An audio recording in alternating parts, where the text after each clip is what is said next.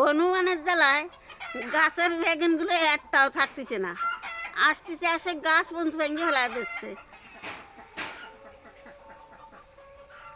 কত আইডি হয়েছিল সব হনুমানে ফিরে ফিরে খেয়ে ফেলা দিচ্ছে।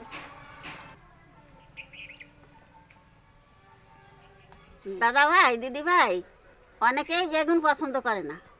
তা আজকে আমি যেভাবে বেগুন রান্না করব তাতে সবারই খাতে ভালো লাগবে। তা তোমরা মন দিয়ে দেখো, আমি কীভাবে রান্নাটা করি।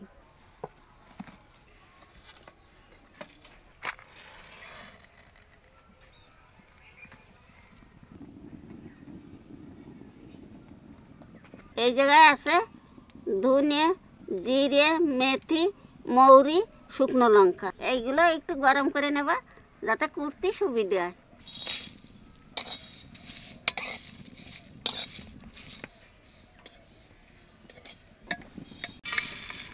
মশলাটা গরম থাকতে একটু কুটিয়ে নেই। নাহলে ঠান্ডা হয়ে গেলে পরে আবার গুঁড়ো অভিনয় ভালো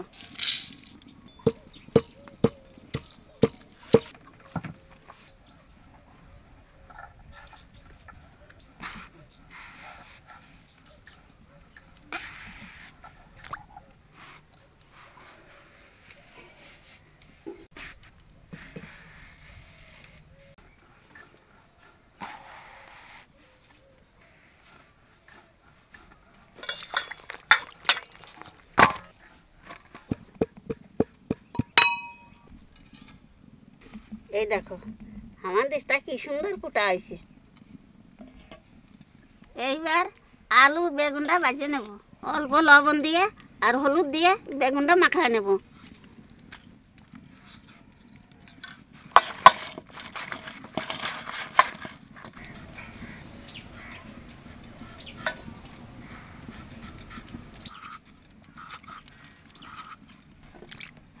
সর্ষের তেল।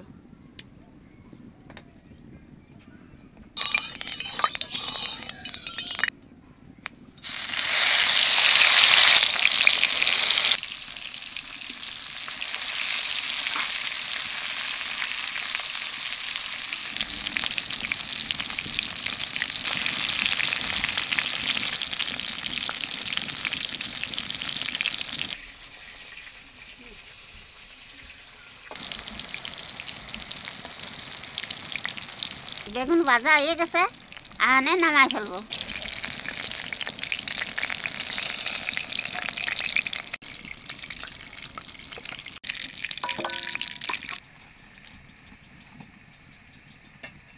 বেগুন ভাজা তেলের মধ্যে আলু ভাজিয়ে নেব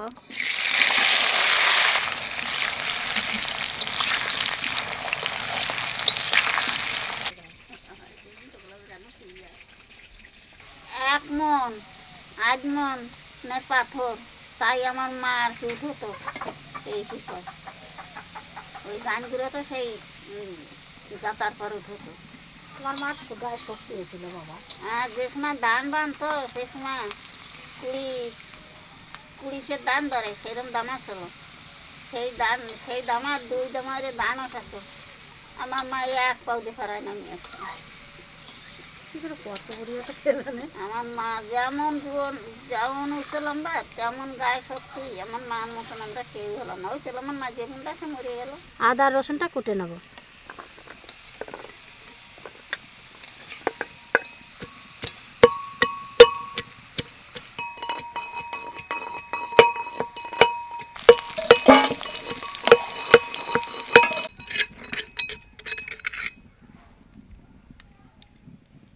বাজা তেলের মধ্যে দিয়ে দেবো জিরে আর তেজপাতা।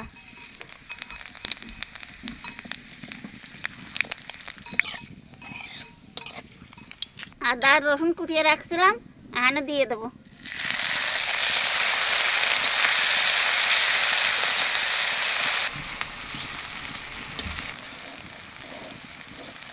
এখানে দিয়ে দেবো পেঁয়াজ।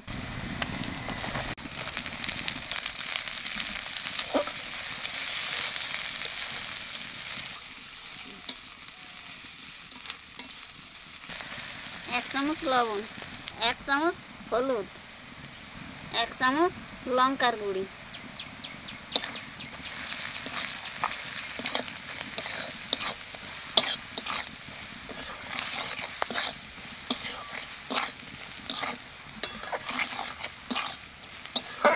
মশলা ভাজা হয়ে গেছে, আনে দিয়ে দেবো টমেটো।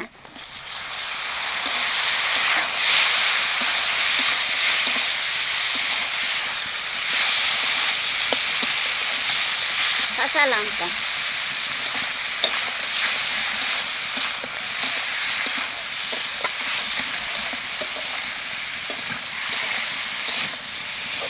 রান্না করতে এসে বেশি কথা বলছি নাই।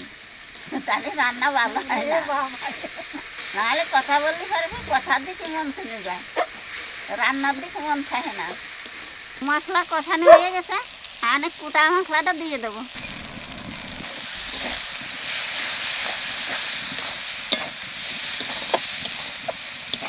কুটা মশলা দেওয়ার সাথে সাথে আলু দিয়ে দেবো।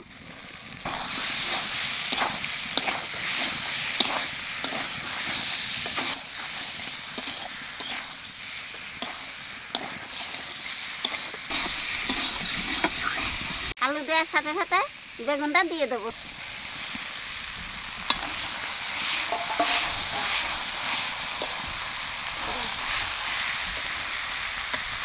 বেগুন দেওয়ার সাথে সাথেই জল দিয়ে দেবো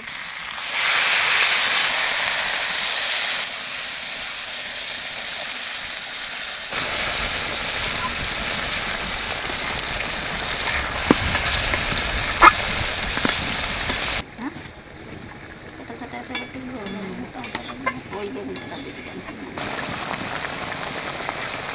রান্না হয়ে গেছে। আনে গরম মশলা দিনের পাতা দিয়ে নামাই দেবো।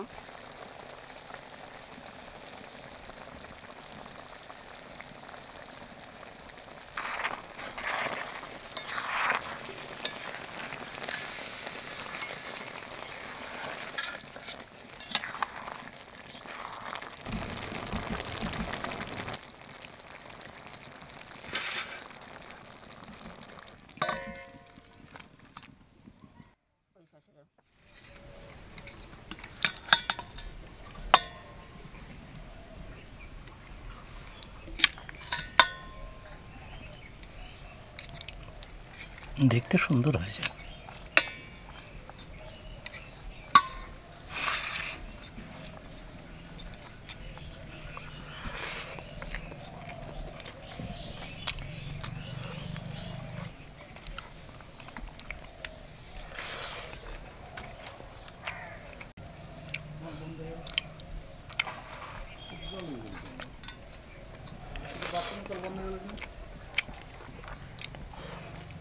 আচার আচার লাগছে রানু দারুণ লাগছে খেতে। সে আচার দিয়ে ভাত মাখালে যেরকম টেস্ট হয় না? মৌরি টরি দেওয়া হয়েছে না মৌরি দেওয়া হয়েছে। তারপরে মেথি সব কিছু রান্না করা হয়েছে না? আমাদের এরকম মাঝে মধ্যে করতে পারো খুব সুন্দর লাগছে আমার কাছে।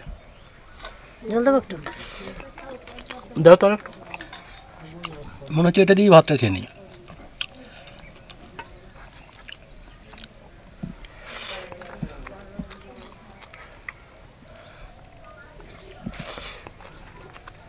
আমার কাছে খেতে খুব সুন্দর হয়েছে।